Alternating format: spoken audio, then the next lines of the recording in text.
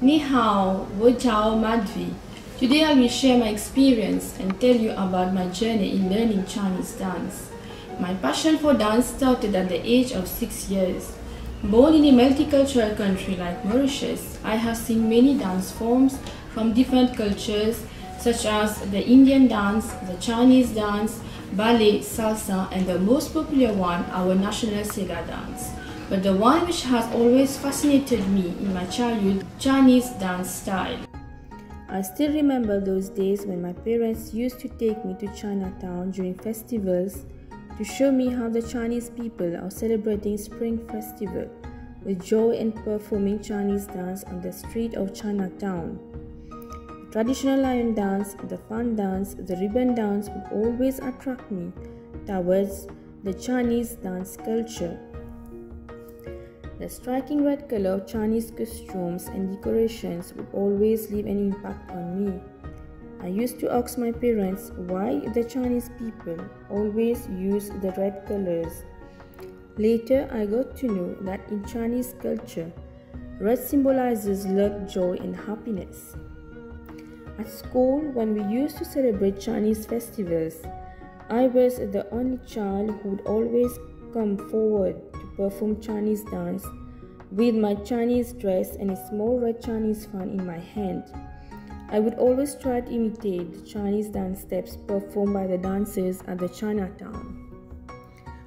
When I grew up, I started learning classical Indian dance, but despite being from a Hindu background, I found myself so connected in one way or another with the Chinese traditions. With time, I found that, that there is a common element both in Chinese and Indian classical dance. Both types of dance shows a form of gracefulness, peace and harmony. One can easily narrate a story from these dance forms. The desire to learn more about Chinese culture and to explore more about Chinese dance was still ignited in me.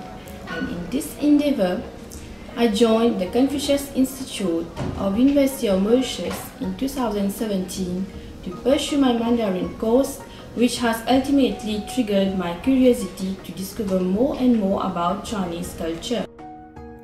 During my journey at the Confucius Institute, I got many opportunities to perform Chinese dance. Finally, I got the right platform to realize my dreams and to explore my dancing skills in Chinese. I started learning the dance steps by watching stage performances of Chinese dancers on YouTube. Despite having got no training in Chinese dance, I succeeded to acquire some Chinese dancing skills which I displayed later in my performances. It was a great challenge for me to perform Chinese dance live on the stage. I will never forget my first and memorable dance performance for Confucius Institute in February 2018 on the occasion of Spring Festival. Inspired by the great Chinese dancer Yang Liping, I decided to perform a peacock dance on the stage. Later, I got the opportunity to participate in different events organized by the Confucius Institute.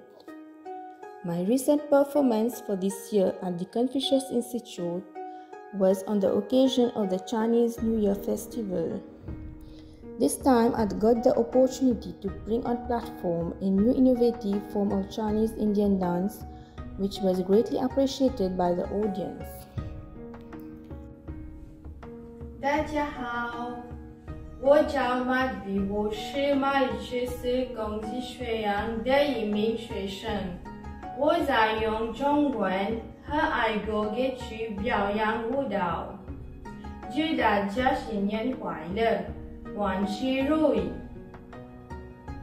！as a person who loves China and Chinese culture so much, I'm nurturing only one dream to get the opportunity to visit China one day, to explore more of the Chinese dance culture, and to get the opportunity to learn Chinese dance from professional teachers in China.